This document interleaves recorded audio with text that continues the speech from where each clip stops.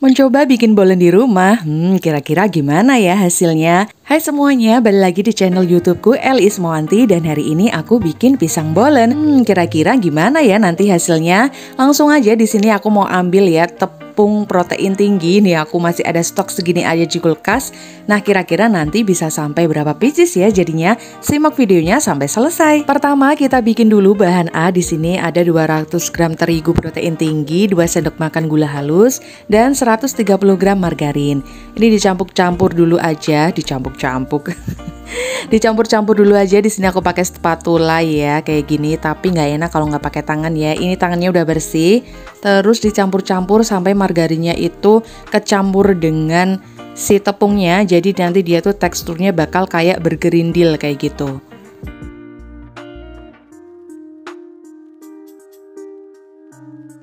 Nah, teman-teman, kurang lebih itu teksturnya bakalan seperti ini. Kita siapkan air, di sini ada sekitar 130 sampai 140 ml air putih biasa.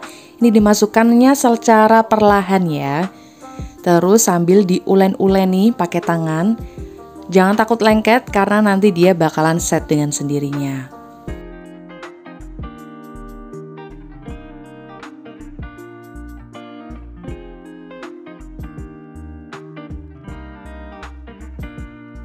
Nah, kurang lebih hasilnya akan seperti ini ya. Lanjut kita siapkan juga tutup atau plastik wrap bebas. Ini ditutup ya. Kalau aku pakai plastik wrap, nanti kita diamkan minimal 30 menit. Usahakan untuk mendiamkannya itu ya di tempat yang suhunya dingin ya, jangan yang tempatnya itu agak panas kayak gitu. Nah, ini aku pindahkan di sini biar dia nggak terkena panas. Oke lanjut, kita siapkan bahan B. Di sini ada terigu masih protein tinggi dan 140 gram margarin. Margarinnya bebas merek apa pun yang dijualan di pasar-pasar atau di warung deket rumah boleh banget. Nah ini tinggal dicampur-campur aja ya, sampai nanti dia itu set dan menyatu.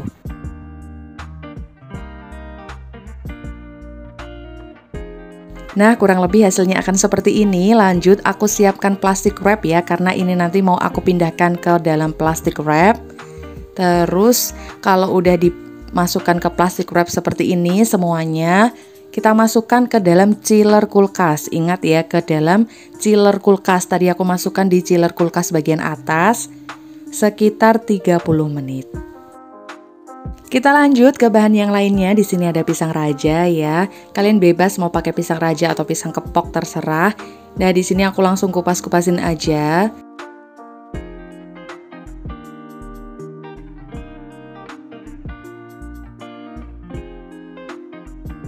Lanjut, kalau udah ini satu pisangnya aku potong jadi tiga bagian. Nah terus nanti aku juga sediain keju cheddar yang aku potong-potong juga. Pokoknya ukur ukurannya sesuai selera. Jadi isiannya itu nanti ada pisang, terus aja aja. Mohon maaf ngomongnya belepotan ya. Terus ada keju cheddar dan juga coklat mesis. Pokoknya hampir mirip deh kayak yang dijual-jual gitu. Tapi ini versi rumahan ya.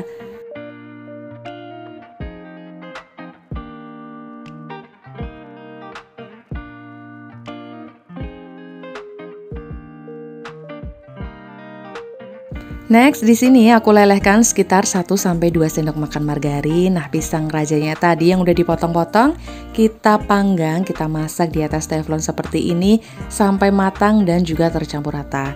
Biar apa? Jadi nanti pisang bolennya di dalamnya itu rasa pisangnya itu semakin gurih seperti itu. Nah, di sini mau aku ambil bahan B tadi yang aku masukkan ke dalam kulkas.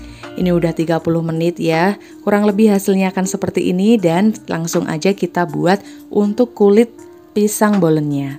Langsung aja keluarkan ini bahan A ya dari wadah.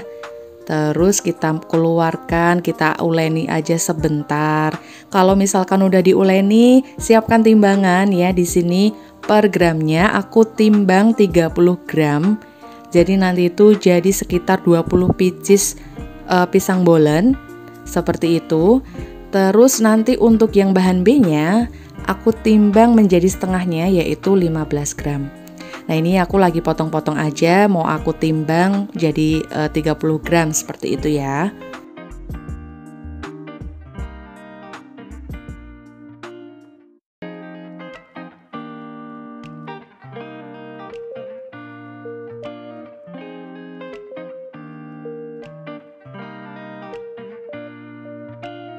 Ini dia bahan B-nya ya, seperti tadi yang udah aku bilang, di sini aku timbang 15 gram. Sama ya, dan ini uh, hasilnya. Lanjut di sini aku mau mengisi ya kulit uh, istilahnya tuh nge-mix ya. Bahan A dan juga bahan B, ini bahan A-nya dipipihkan bentuk bulat, usahakan jangan sampai tipis jadi tengahnya itu masih tebal. Langsung masukkan bahan B-nya sambil ditutup bagian atasnya kayak gini usahakan memang tutupnya itu harus benar-benar rapat biar tidak bocor ketika nanti digilas. Ya, sambil dibulat-bulatkan lagi, ditutup-tutup lagi, direkatkan. Pokoknya nanti biar tidak ada yang bocor seperti itu. Kalau udah di sini gilas pelan-pelan ya, tapi ini videonya aku cepetin ya. Gilas pelan-pelan lalu dilipat kanan kiri, digilas lagi memanjang lalu dilipat lagi atas ke bawah. Udah seperti ini aja. Lakukan hingga selesai, pokoknya nanti ketika adonannya itu didiamkan, dia itu kayak ngeset sendiri, kayak udah menyatu sendiri. Jadi nggak perlu sampai berlayar-layar kayak gitu ya. Takutnya nanti karena ini tadi isiannya margarin ya, bukan coarse fat ya. Jadi nanti itu kadang-kadang kalau suhu ruangannya itu berubah jadi panas atau hangat, dia itu bakalan cepet leleh.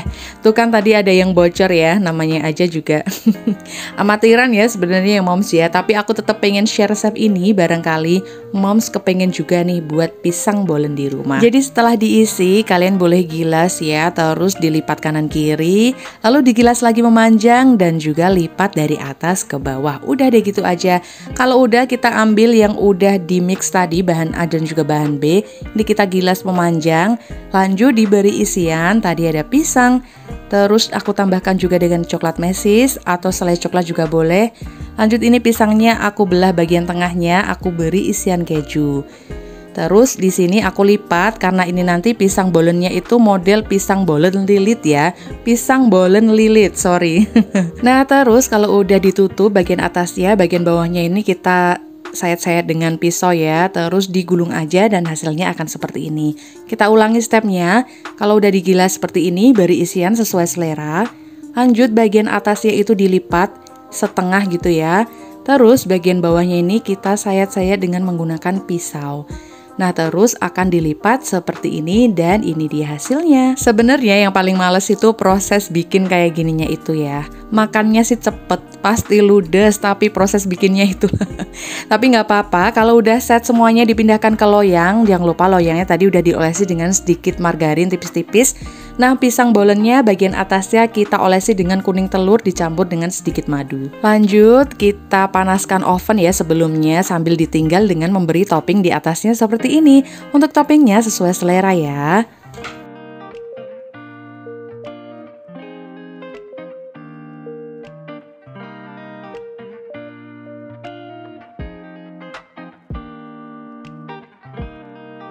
Aku ingatkan sekali lagi untuk ovennya dipanaskan dulu ya sekitar 10 menitan gitu biar nanti kita ketika memanggang pisang bolennya itu oven sudah dalam keadaan hangat atau panas.